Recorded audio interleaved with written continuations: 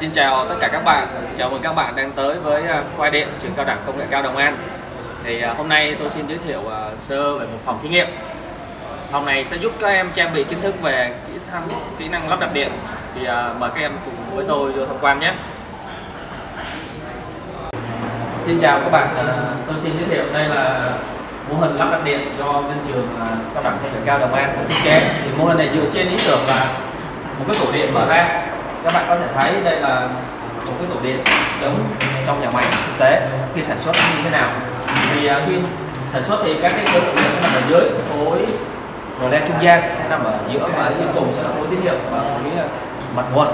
Đây là giờ thực hành của các sinh viên. Các bạn thấy là bên chủ chúng tôi á là mỗi một sinh viên sẽ thực hành trên một phần và thực hành riêng không làm chung. À, các bạn sẽ được trang bị kỹ năng giống ngoài thực tế để khi ra làm thì chắc chắn sẽ không bị vỡ ngỡ mời à, các bạn à, xem các sinh viên làm như thế nào nhé.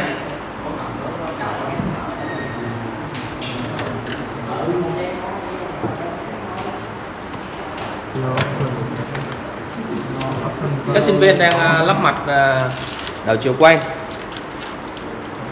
Đây là các khí cụ điện mà chúng tôi cập nhật mới nhất trong thực tế và nó mang tính thiết thực cái là khi sinh viên đang làm sẽ gặp những khí cụ điện này và sẽ bị bỡ ngỡ nữa.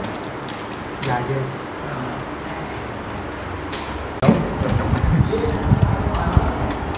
các bạn à, có thể thấy à, bạn này đang à, lắp mặt điều khiển sử dụng nút nhấn để điều khiển đảo chiều quay động cơ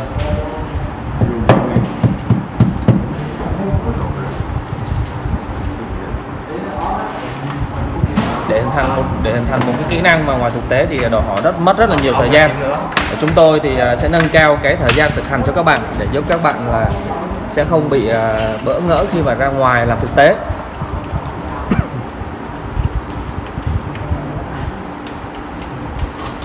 Trường Cao đẳng Công nghệ cao Đồng An không ngừng nâng cao chất lượng dạy và học để chấp cánh ước mơ cho các em học sinh, sinh viên có được một nghề nghiệp vững vàng, bản lĩnh, tự tin hòa nhập cuộc sống xã hội. Cao đẳng Công nghệ cao Đồng An, số 90, đường 30 tháng 4, phường Bình Thắng, thị xã Dĩ An, tỉnh Bình Dương.